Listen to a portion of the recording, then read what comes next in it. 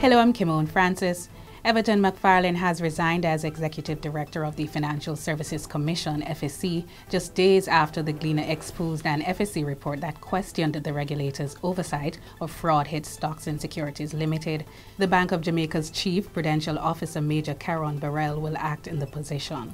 Meanwhile, attorney Linton Gordon has sent a letter to the FSC accusing the regulatory body of playing a role in the 12 million US dollar loss that his client, sprint legend Usain Bolt, suffered in the recently discovered SSL fraud. The letter said that the regulatory body is liable and failed to perform its duty in accordance with the FSC Act. The Manchester police are currently probing the shooting death of a man who was visiting from England. 48 year old Michael Brown of Miketown District, Manchester, and Waterford, England, was pounced upon by gunmen at his home in Manchester.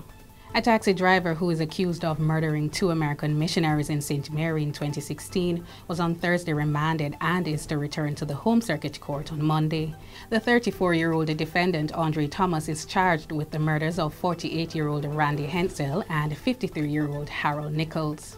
In sports, Cristiano Ronaldo scored twice in his first game in Saudi Arabia, and Lionel Messi was also on the score sheet as Paris Saint Germain edged a Riyadh All Star 11 5 4 in a thrilling contest. In your currency trading at midday today, one US dollar was being sold for $154.22, the British pound is sterling for $190.54, and the Canadian dollar for $115.11.